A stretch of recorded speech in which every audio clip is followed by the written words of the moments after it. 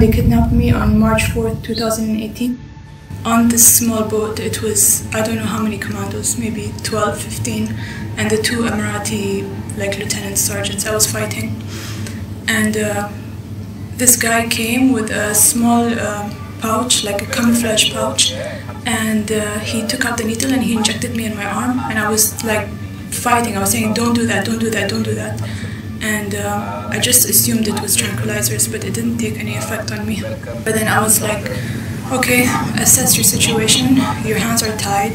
You have two guys sitting on you. You're on the bottom of a, uh, you know, like a small boat. Um, so just calm down and like, there's just like there's no fighting at this point. So I just, I just calmed down. I said no, like I'm not gonna voluntarily go.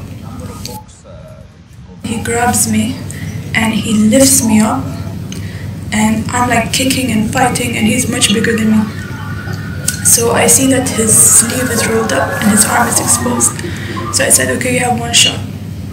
So I just bite him as hard as I can and shake my head. And uh, he screamed. The same guy tranquilized me again.